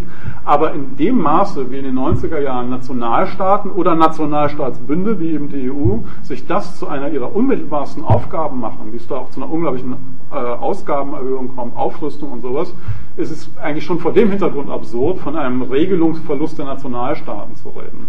Ich glaube, ich habe damals schon immer gedacht, das ist eine, das ist eine Verschiebung nationalstaatlicher Regelungs- und Aufgabenverteilung, die dort stattfindet. Ähm, in diesem Bereich der Ökonomie ist es so, dass es da jetzt halt, das ist so zyklisch, ja, das ist auch nichts Neues, dass es da jetzt wieder in die andere Richtung geht. Genau die gleichen Leute, die einem irgendwie früher erzählt haben, irgendwie der Staat muss sich aus der Ökonomie mehr raushalten, weil der freie Markt regelt das schon alles von alleine, äh, sagen ja, sagen jetzt, okay, hat nicht funktioniert, jetzt muss der Staat halt eingreifen. Ähm, den, den Fehler, den Linke da wiederholen, ist, dass sie irgendwie nie zu dem Punkt kommen, mal zu sagen, dass ja irgendwie wo offensichtlich Markt und Staat irgendwie zusammengehören und dass das beides eben die zentralen Ordnungsinstanzen von dieser Form von Gesellschaft sind. Also von einer wertverwertenden, kapitalakkumulierenden Gesellschaft. Die funktioniert nicht allein durch den Staat und nicht allein durch den Markt, sondern über genau diese beiden Instanzen. Und im periodischen Abständen ist mal das eine favorisiert und mal das andere. Das ändert aber nichts an dem eigentlichen Prinzip. Und wenn man dann immer irgendwie die ganzen Folgen dieses Prinzips zitiert, wie das zum Beispiel so Gruppen wie Attac ja durchaus richtig machen. Die zitieren das Elend auf der Welt. Ne? Die bringen ganze Bücher heraus, wo sie relativ richtig das Elend in der Welt beschreiben. Also die Tatsache, dass zwischen zwei Drittel und drei Viertel der Menschheit schlicht und einfach ein Massenelend lebt. Ne? Und dann sagen sie, so, wir hätten gerne eine neue Steuer. Also, ich weiß nicht, wenn irgendwie drei Viertel der Menschheit am Gruppieren sind, soll man sich vielleicht mal was anderes überlegen als eine neue Steuer.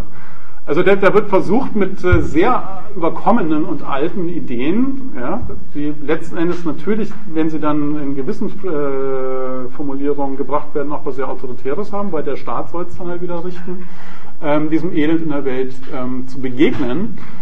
Diese Leute führen auch gar keine Diskussion darüber, dass das, was sie jetzt so stark wieder einbringen, inzwischen ja eigentlich alle fordern.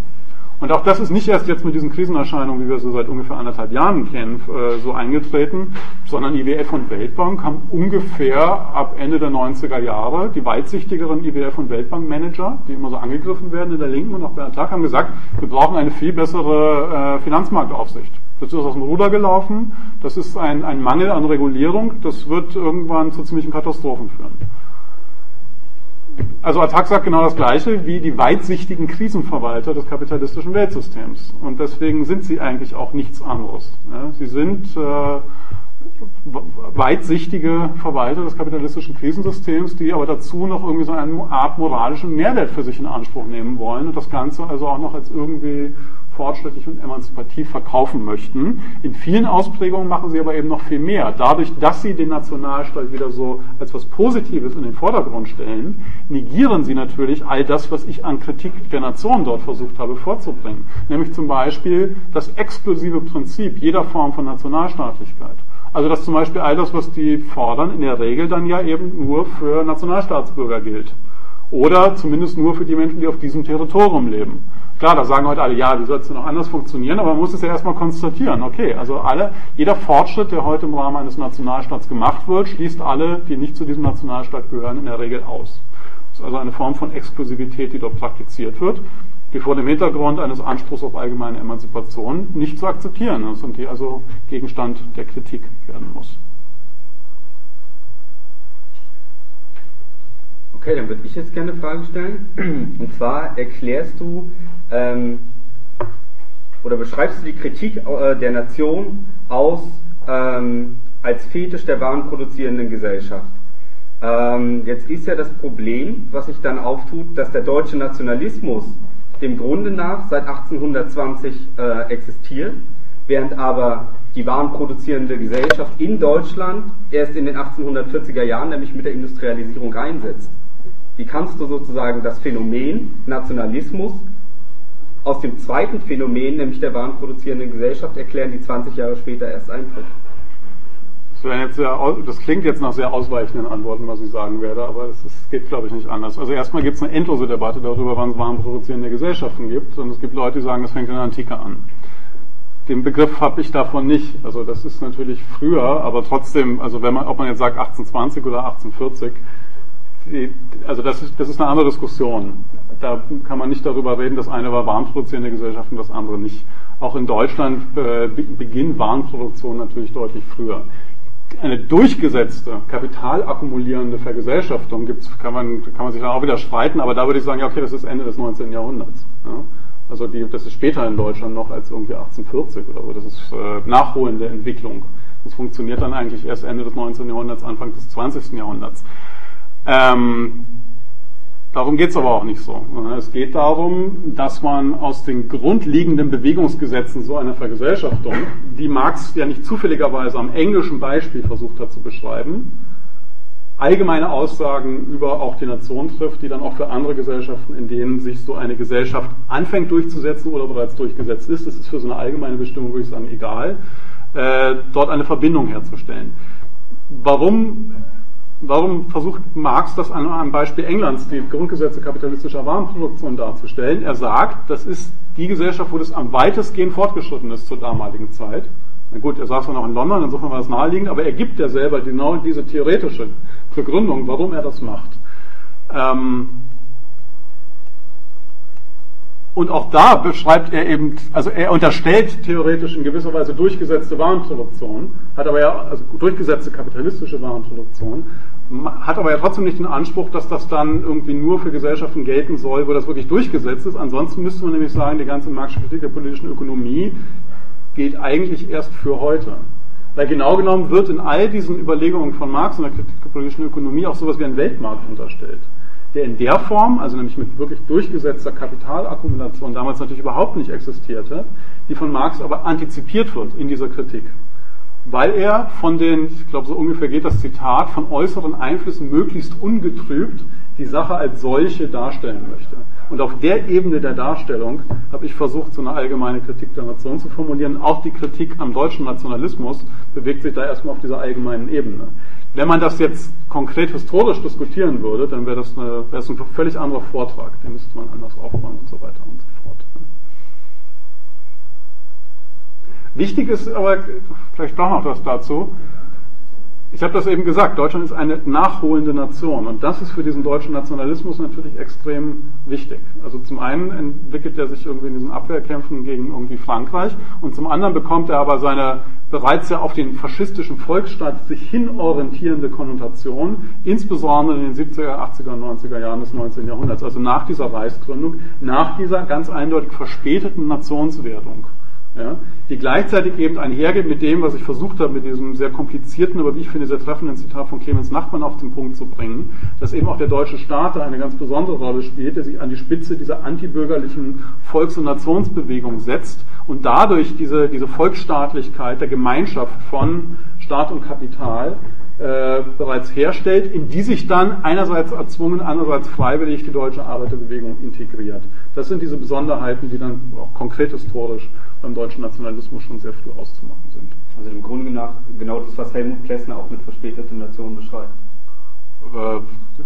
Das macht nicht nur Helmut Plessner, ja, sondern das ist so ein ganz gängiger Terminus inzwischen, dass man von der verspäteten Nation und Nationswerbung spricht. Was dann übrigens nicht nur für Deutschland gilt, sondern ja auch für diese ganzen Nationskonzepte, die sich eben an Deutschland orientieren. Einerseits in vielen osteuropäischen Ländern, in Österreich sowieso, aber das ist auch der Grund dafür, warum gerade die ganzen arabischen Nationalisten in den 20er Jahren sich eben nicht in der Regel nicht irgendwie am, am republikanisch-westlich orientierten Nationsideal orientieren, was von der Idee her, das ist natürlich auch das viel Ideologie und das stimmt in der Wirklichkeit alles gar nicht so, aber von der Idee her äh, eine politische Vorstellung haben, wo man sagt, es gibt eine Verfassung. Und wer sich mit dieser Verfassung einverstanden erklärt, kann theoretisch Staatsbürger dieser Nation werden, wohingegen das in Deutschland eben eine Schicksalsgemeinschaft ist, die auf Blut und Boden äh, ähm, rekurriert und die offensichtlich das Erfolgsmodell für diese nachholende Entwicklung ist. Und diese arabischen Nationen, wenn man sich die Diskurse, wenn man das, auf der Uni sagt man das so, glaube ich, ähm, in, den, in, den, in den 10er und 20er Jahren äh, in, in den arabischen Ländern anschaut, insbesondere in Ägypten, aber auch in Syrien und so, dann beziehen sich diese Leute ganz explizit auf den deutschen Nationalismus, auf Leute wie Fichte. Ja? Fichte, der eine dezidiert antisemitische Nationskonzeption verfasst hat. Ja? Also wo, äh, wie, wie geht das Zitat? Die Juden werden nur einmal einen Tag der Freiheit erleben, an dem sie geköpft werden, sinngemäß so ungefähr. Ja, das ist äh, eine, eine, eines der wichtigen großen Fichte-Zitate. Aber die ganze Konzeption ist eben dieses romantische, letzten Endes gegen die französische Revolution gerichtete deutsche Nationskonzept. Darauf beziehen sich die arabischen Nationalisten. Darauf beziehen sich die Begründer auch äh, der Baath-Partei, also jener Partei, der, aus der dann Leute wie Hussein und äh, Assad heute in Syrien entstanden sind. Das sind Leute, also das ist keine, das ist ja keine Unterstellung böser antideutscher Ideologiekritiker, wenn man sagt, da gibt es irgendwie ideologische Überschneidungen, sondern diese Leute selber haben sich genau in diese Tradition gestellt. Michel Aflac, solche Leute, ähm, haben neben, neben Fichte äh, ähm, äh, immer darauf verwiesen, dass irgendwie die, die, die deutschen Nationstheoretiker das sind, woran sie sich orientieren. Das ist, worauf sie sich beziehen. Spätere arabische Nationalisten wie Hussein haben gesagt, mein Kampf ist das wichtigste Buch des 20. Jahrhunderts, also wo es dann ganz eindeutig genau darum geht. Es ist eine Konstruktion eines, man könnte es fast zugespitzt so sagen, eines anti-imperialistischen Nationalismus. Also ein Nationalismus, der natürlich dann selber imperialistisch wird, im Sinne dessen, dass er andere Gebiete erobern will, andere Leute unterdrücken möchte, aber der von seinem Gedanken her erstmal, wenn er sich in die Welt setzt, gegen die bestehenden Mächte wendet. Ja? Und auch das waren dann ja nicht zufälligerweise recht ähnliche wie Deutschland, äh, also real äh, gegen, gegen, gegen England und Frankreich, wie das eben auch in arabischen Ländern gegen die Kolonialmächte gewesen ist, sondern eben also auch real im Durchsetzen, aber völlig wahnsinnig äh, in der Ideologie, landen sie dann alle letzten Endes äh, bei einem üblen Vernichtungsantisemitismus, der eben all das, was man als äh, vorhin schon ein paar Mal versucht, diese Floskel zu drücken, abstrakt, äh, volkszersetzend, die Nation zerstörend, also als all das, was einem selber an, am eigenen Fortkommen hindert, in Juden und Jüdinnen biologisiert und dingfest macht. Was, wenn wir gerade schon dabei sind beim, beim arabischen Nationalismus, dieser Antisemitismus in dieser arabischen islamischen Welt ist eben nicht auch einfach nur etwas, was da quasi, das klingt bei manchen Leuten dann so, als wenn das da der Imperialismus auch noch den Antisemitismus da implementiert hat. Das ist eine eigenständige Leistung, wenn man das so nennen kann, der arabischen und islamischen Gesellschaften. Natürlich lesen die dann das Zeug irgendwie aus Europa und so, und es gibt diese Kontakte, aber genauso wie das in Europa eine Reaktion, eine wahnhafte, projektive Reaktion auf den Prozess kapitalistischer Modernisierung ist, der Antisemitismus, genauso ist das auch in diesen Ländern der Fall. Und es ist natürlich auch erst recht nicht irgendwie eine, nur eine Reaktion auf den Zionismus. Die Moslembrüder in Ägypten machen es in den 1920er Jahren, 28 Jahre bevor der Staat Israel überhaupt gegründet wurde, verbreiten die üble Pamphlete ähm, gegen Juden und Jüdinnen, gegen die jüdische Weltherrschaft, brennen das jüdische Viertel in Kairo nieder und so weiter und so fort. Ja.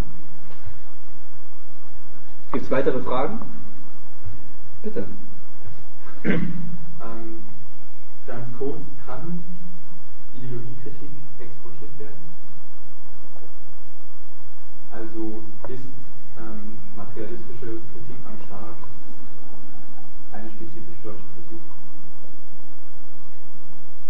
Wenn sie gut ist, ist es eine spezifisch antideutsche Kritik. Ich weiß nicht, ob ich die Frage richtig verstehe.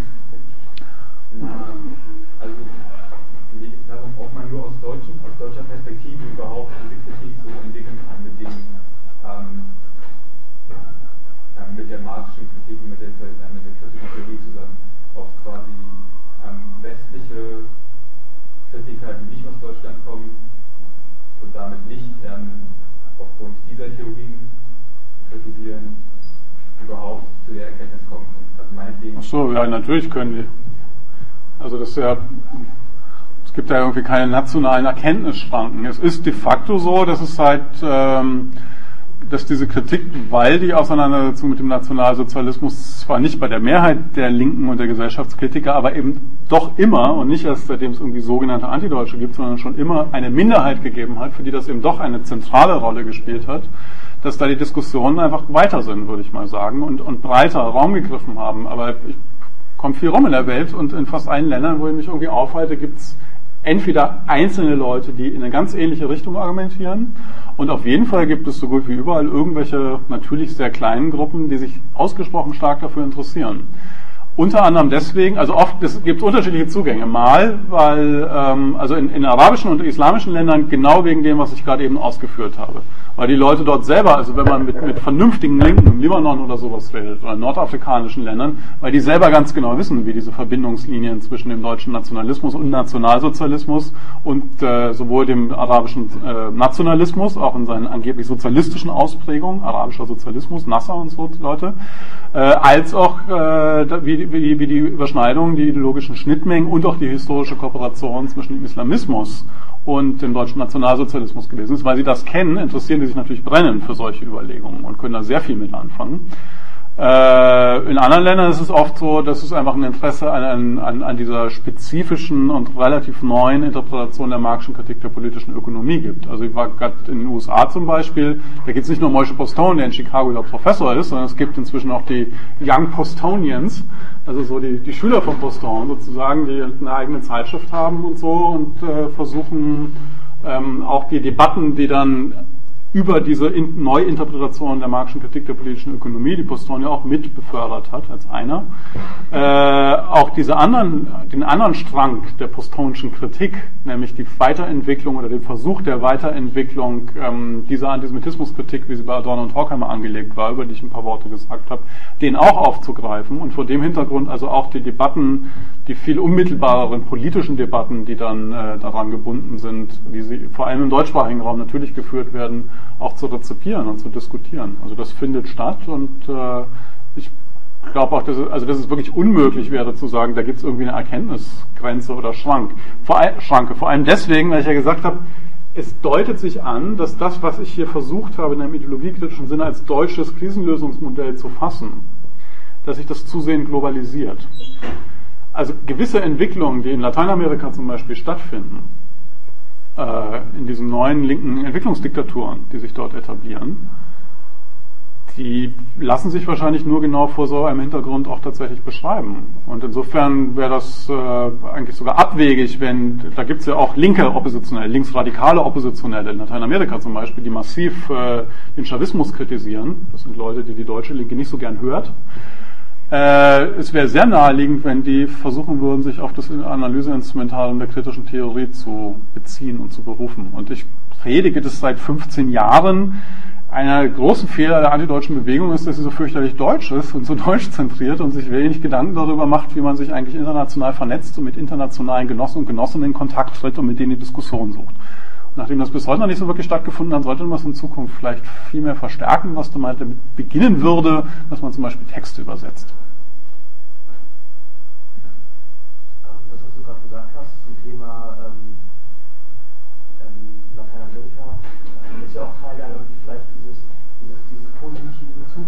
neue Deutschland, das ist ja, wird ja auch ähm, dann erwähnt, dass ja der äh, deutsche ähm, soziale Marktwirtschaft, was wieder sehr Positives ist und das ist dann wieder ein Aspekt des, neuen geläuterten Deutschlands, also der also nur ein Aspekt, der vielleicht in eine andere Richtung läuft, als vielleicht wir dürfen jetzt wieder stolz sein, allein dieses Wir, aber vielleicht kannst du noch was zu diesem neuen geläuterten Deutschland sagen, das dann auch ähm, sich auf Auschwitz als Gründungsmythos ja. und so weiter.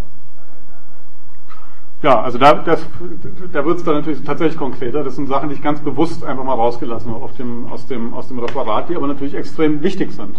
Es gibt eine ganz eindeutig eine Transformation dieses deutschen Nationalismus von, sagen wir mal, den 80er Jahren bis heute. In den 80er Jahren war das eine mehr oder weniger klassisch postnationalsozialistische Gesellschaft, wo es immer noch sehr stark darum ging, dass vor allem die Leute, die eine, so diese rechtere Vorstellung, damit man jetzt keine Nazis, sondern konservative und rechte Sozialdemokraten, äh, die relativ hegemonial waren damals, ähm, die diese klassischen Abwehrstrategien gehabt haben, die gesagt haben, naja, über die Nazi-Zeit am besten redet man da gar nicht und wenn man darüber redet, dann halt in einer ganz bestimmten Art und Weise, dass es diesen Entschuldigungs- und Abwehrdiskurs gegeben hat und solche Sachen. Das ändert sich langsam nach der Wiedervereinigung. Erstmal gibt es in der Wiedervereinigung so ein, ein, ein Aufblitzen des klassischen, sehr aggressiven deutschen Nationalismus.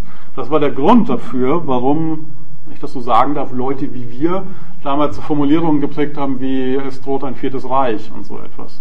Es gab damals gute Gründe dafür, genau sowas zu befürchten. Das war so, dass man, wie man so angefangen hat, darüber zu diskutieren, was passiert eigentlich, wenn sich dieses Deutschland wieder vereinigt. Und ich meine, klar, es gab so Leute, die einfach der poststalinistischen DDR nachgetrauert haben. Das hatte man als jemand, der irgendwie die kritische Theorie ganz gut findet, nicht so auf dem Plan.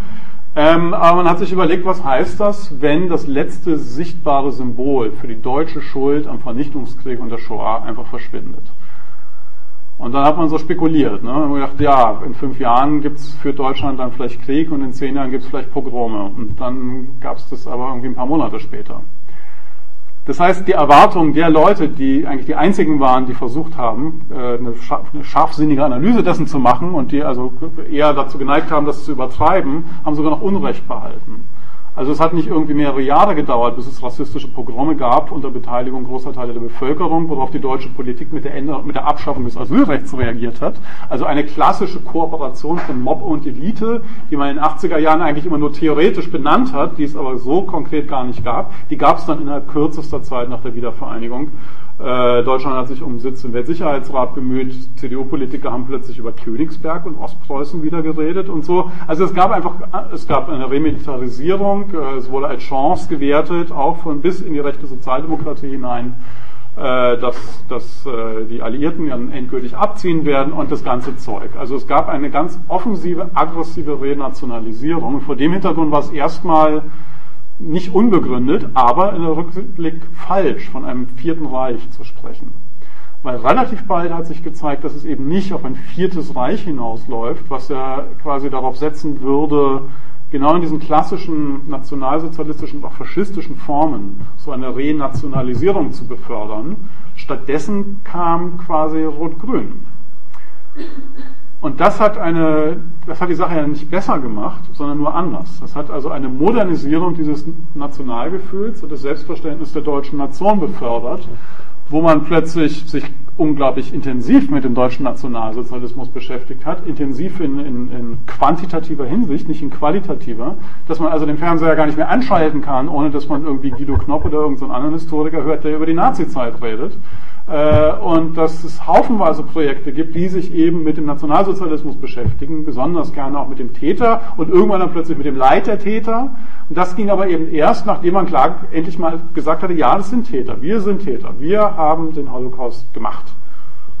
Und also es, steht, fehlen ja noch so ein paar Sachen. Also es ist noch nicht so ganz im öffentlichen Bewusstsein, es gehört noch nicht zum Diskurs, dass man sagt, ja, und wir haben 72, äh, 27 Millionen Sowjetbürger ermordet. Also es fehlen so ein paar Details noch in diesem neuen Selbstverständnis der deutschen Nation. Aber zumindest beim Holocaust sagt man heute ganz selbstbewusst quasi, ja, das waren wir. Und es war auch einmalig. Das kann sonst keiner. Ähm, wenn man das dann einmal hat, dann kann man auch sagen, ja, aber auch die Täter waren Opfer. Und das ist, also das hat man innerhalb von ungefähr 18 Jahren hat man das hinbekommen, ne? dass das auch international akzeptiert wird, dass die Deutschen inzwischen halt, äh, wenn sie über Nationalsozialismus reden, auch über die Shoah reden, aber eben auch über die Wilhelm Gustloff.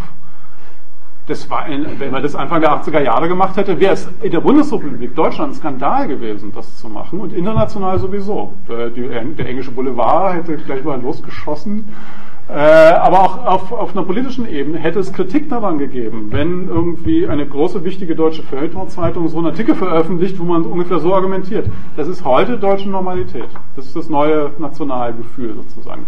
Das ist ein wichtiger Unterschied zu Österreich zum Beispiel. In Österreich gibt es nach wie vor viel eher diese traditionelle klassische Form einer postnarzisstischen Gesellschaft. Es geht auch in Österreich noch viel mehr. In Österreich ist vor, vor ein paar Monaten ein Mitglied der Burschenschaft Olympia, das ist schlicht und eine Nazi-Burschenschaft, zum dritten Nationalratspräsidenten gewählt worden, also österreichisches Parlament. Und zwar nicht nur mit den Stimmen der FPÖ, sondern mit fast allen Stimmen der Sozialdemokraten und der Konservativen. Das ist in Deutschland heute unvorstellbar.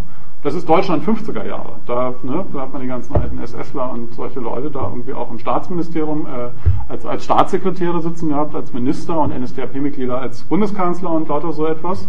Ähm, aber heute wäre sowas in Deutschland äh, vermutlich nicht möglich. Also da ist man zivilisiert, neu, modern, demokratisch äh, entnazifiziert. Und weil man das ist, kann man heute viel selbstbewusster wieder deutsche Interessen in der ganzen Welt vertreten. Das ging natürlich auch ganz stark mit dem Jugoslawienkrieg einher. Das erste Mal, dass deutsche Truppen also wieder im Ausland eingesetzt werden. Tornado, deutsche, deutsche Flugzeuge haben zum dritten Mal im 20. Jahrhundert, also Belgier, bombardiert.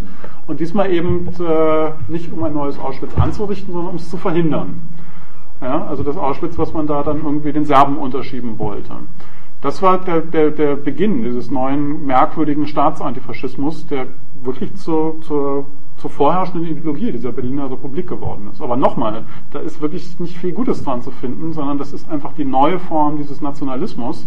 Wie verlogen der ist, sieht man insbesondere, wenn man sich anschaut, äh, dass das hinsichtlich der Kooperation und auch Unterstützung und Finanzierung der arabischen und islamischen Antisemiten, insbesondere im Iran, ich habe schon angedroht, ich komme immer auf das Thema zu sprechen, ähm, wenn man sich die anschaut und gleichzeitig diese völlig hohlen Phrasen dann irgendwie hört, die die deutsche Kanzlerin irgendwie sagt, die Verteidigung Israels gehört zur Staatsräson der Bundesrepublik Deutschland, dann sieht man, dass sich in der realen Praxis, also mit wem man nach wie vor unmittelbar zusammenarbeitet, nicht sehr viel geändert hat. Ja. Aber trotzdem ist es eine ganz wichtige Transformation der eigenen nationalen Ideologie, die da stattgefunden hat. Vielleicht ist auch das für zukünftige Holocaust äh, wegweisend. Also, dass man in Zukunft dann äh, gelernt, also falls äh, irgendwelche Länder in der arabischen und islamischen Welt doch nochmal in der Lage sein sollten, ein ernsthaftes Massaker unter Juden anzurichten, mit deutscher Finanzierung und Unterstützung, äh, dann weiß man vielleicht in Zukunft, also das, das ist ja leider das Ergebnis von nach 45, die Deutschen haben bewiesen, man kann sowas machen das ist, das ist vielleicht was, wenn man, also um nochmal grundsätzlich zu werden, wenn man die deutsche Nation redet. Man könnte so einen Vortrag natürlich auch, wenn er am 3. Oktober stattfindet, beginne ich den eigentlich immer damit, man muss als erstes mal feststellen, die Existenz einer deutschen Nation nach 1945 ist ein Skandal. Ja? Dass es so etwas gibt, nachdem man 6 Millionen Juden ermordet hat und 27 Millionen Sowjetbürger dahingemetzelt hat und noch ein paar Millionen andere Leute umgebracht hat, dass es danach diese Nation noch gibt, ist erstmal ein Skandal. Ja? Das kann, also davon ausgehen, müsste man überhaupt erst jede weitere gedankliche Entwicklung irgendwie betreiben. Wenn man das jetzt nicht vor so einem Publikum, sondern von einem anderen macht, kommt man dann meistens nicht mehr sehr weit mit seinem Vortrag. Aber das ist, das ist ja keine, keine irgendwie fiese Polemik, wenn man sowas sagt, sondern das ist die ganze Wahrheit. Ja? Es ist eine, nach der eigentlichen Katastrophe der Shoah fand noch, mal eine, noch eine weitere geschichtsphilosophische Katastrophe statt Nämlich, dass bewiesen wurde, man darf so etwas machen und es passiert einem nachher so gut wie gar nichts. Ja? Das heißt nicht, es hat haufenweise, um es vorsichtiger zu formulieren, haufenweise individuelles Leid nachher gegeben, sogar von den wenigen unschuldigen Deutschen, die es damals gegeben hat. Das ändert aber nichts an dieser geschichtsphilosophischen richtigen und notwendigen äh, Feststellung, dass es welthistorisch eine Katastrophe war, dass äh, dieses Volk ungeschoren davon gekommen ist. Ja?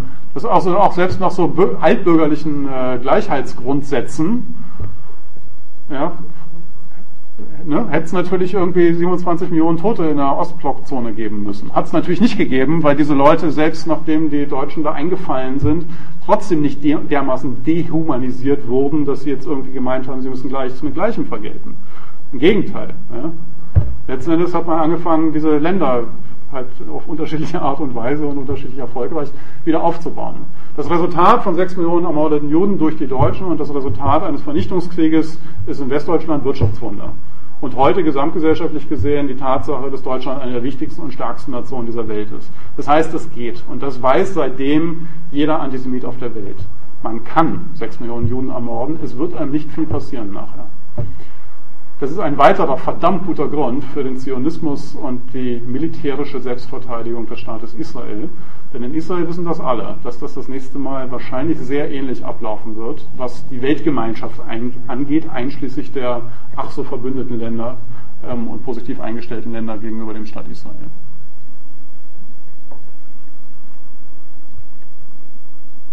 Gibt es nach so viel Zynismus noch weitere Fragen? Das war noch gar nichts. Okay, ähm, dann im Namen des Hochschulpolitischen Referats und der AG Antifa ähm, ganz herzlichen Dank für dein Kommen, ganz herzlichen Dank für euer Kommen und ähm, ich hoffe, es gibt noch zahlreiche fruchtbare Diskussionen im Nachgang jetzt. Herzlichen Dank. Und da gibt es verbilligte Bücher.